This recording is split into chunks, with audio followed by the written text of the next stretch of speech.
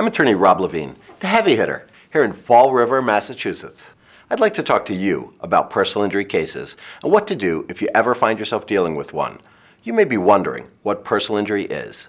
Personal injury cases include, but are not limited to, automobile wrecks, dog bites, defective products, medical malpractice, premises liability, and many other case types.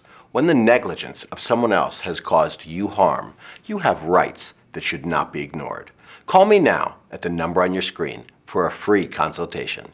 I'm attorney Rob Levine, the heavy hitter, and I look forward to helping you get the money you deserve.